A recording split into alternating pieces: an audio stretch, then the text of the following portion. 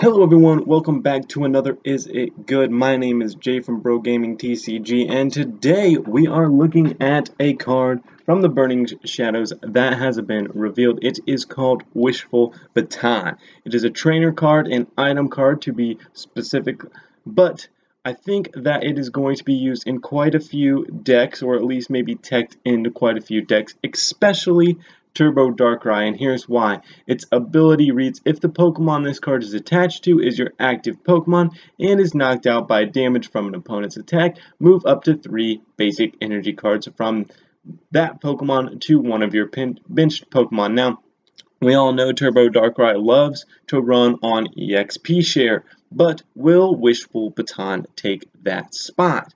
So there are some pros and some cons to Wishful Baton. One, you're not putting that Pokemon tool card on your bench Pokemon and distributing it evenly. You're just moving all three of those basic energy cards to one of your bench Pokemon. So it's a good card to throw onto another Pokemon if you're moving in to an attacker. Plus, we have Darkrai GX and Turbo Darkrai now, which needs three dark energy, or at least a dark and a double colorless, to perform its attack. So that can be a pro. Con to this card is once again that you're not distributing the, the energy as much, you're just throwing it onto another Pokemon.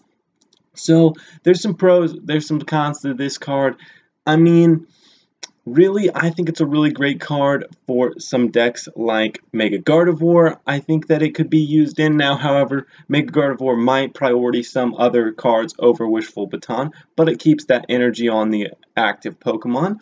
Uh, it could be used in Alolan Muk. If Alolan Muk becomes a deck, it could be used in some fire type decks if fire type decks become prominent. Because let's take a look at Volcanion, for example. You know, Volcanion Turtonator, you can just move that basic energy uh, onto another uh, Volcanion and throw him out there and deal some major damage, you know. So this could be used in quite a few decks, but remember that this is all speculation. We don't know how well this is going to actually be implemented in decks. It will have to be play tested. My major concerns for this card are Turbo Darkrai and Gardevoir GX. Those are the main two decks I can see this being played in. Other decks may prioritize other item cards, Pokemon tool cards over it. So anyways, leave your opinions, comments in the comment section below. And I will bid you adieu from here. My name is Jay from Bro Gaming TCG, and I, I want to remind you all to always keep on battling and pursue your dreams. Thanks for watching.